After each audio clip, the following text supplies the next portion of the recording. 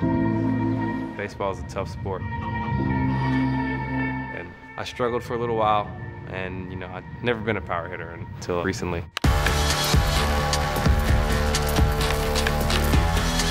If you don't believe that you can hit, then obviously it won't happen. Not having confidence is definitely something that's not acceptable.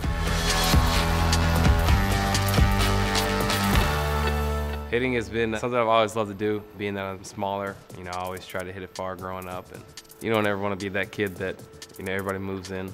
And so my dad would always just say, hit it over the head. You know, go up there, and that was my goal. I learned to love hitting. I never would have guessed. You know, being in the big leagues is definitely a dream come true, but hitting third or, fourth is a goal I can say I've done.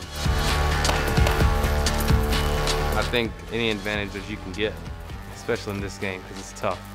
I think just using the axe bat keeps you really consistent and lets you know that you're doing something right. For me, I'm not a big guy. I just have to use my bat speed and having a bat that can you know, definitely help you get through the zone quicker and have the same consistent swing will definitely help you be a better hitter. I used it last year, and from that point on, I'm going to use it every at bat. Because I love it. It's something that I've gotten used to, something that you know I think makes me better.